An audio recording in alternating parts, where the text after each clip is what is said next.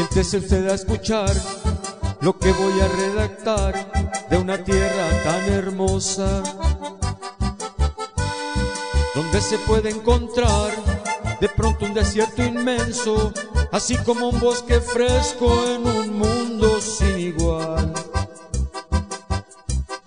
En sus tiempos refugiaba a aquellos que defendieron no solo su litoral, también fueron gobernantes que sembraron con su gente gestos de hospitalidad. Chihuahua es un gran ejemplo que refugia tanto pueblo como extranjeros igual. Su raza de menonitas que habita por casas grandes y por Cuauhtémoc igual. Hidalgo, Juárez y Villa le dieron a nuestra patria tierra, paz y libertad. Dos murieron en Chihuahua, en la capital Hidalgo, y en Parral Francisco Villa, que la hicieron novelear.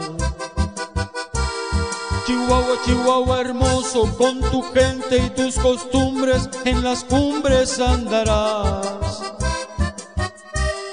Su escudo nos da el reflejo de sus quebrados terrenos y su imagen colonial.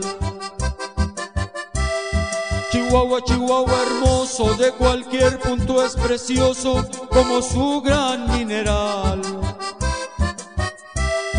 El respeto de su raza, que cuando llega un extraño, le hace sentir en su casa y le brinda hospitalidad.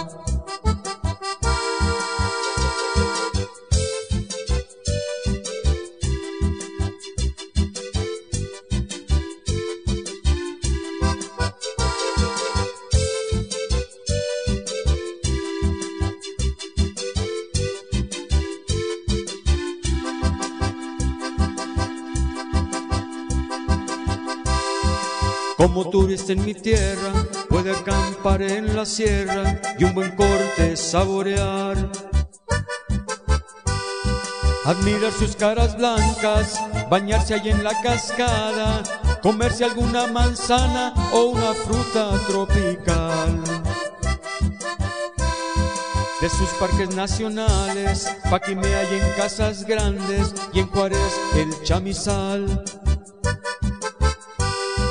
pasando por Villa Ahumada, comerse un buen asadero y en las cumbres de Majalca detenerse a descansar.